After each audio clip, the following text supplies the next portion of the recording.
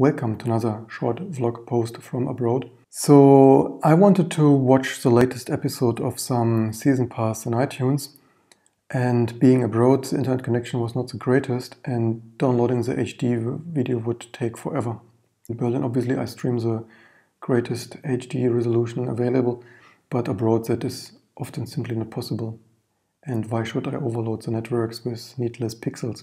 Anyway, I could not find the download SD button anymore and I googled and you see other people also google uh, iTunes download SD version, purchased HD, whatever. But all these posts were old and not matching the latest iTunes UI anymore.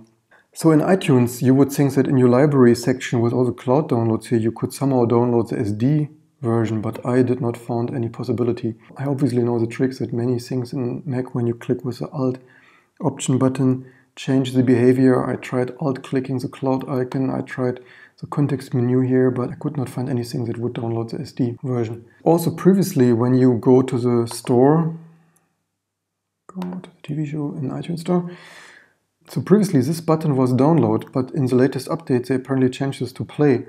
I mean, why the heck would I want to directly play this? If I purchased it for good money, I want to usually download it permanently.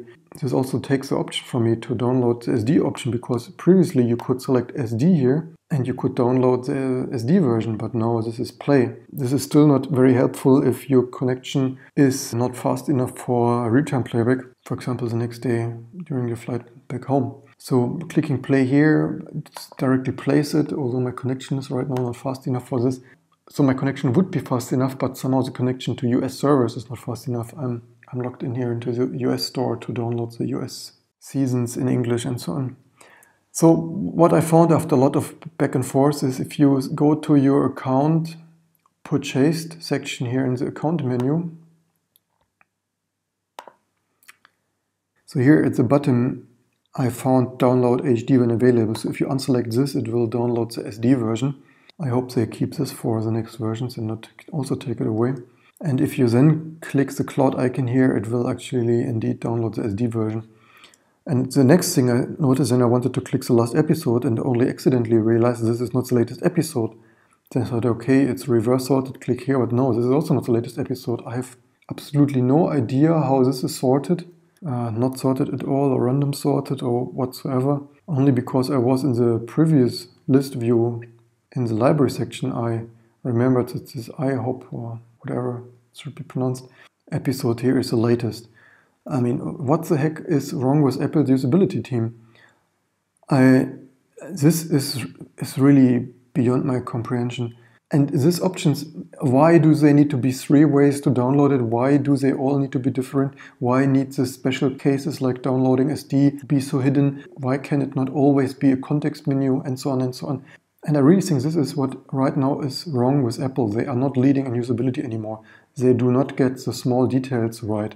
And this ever changing UI, like the download button was there the other week, also applies to other websites, um, Google, Facebook, and whatsoever.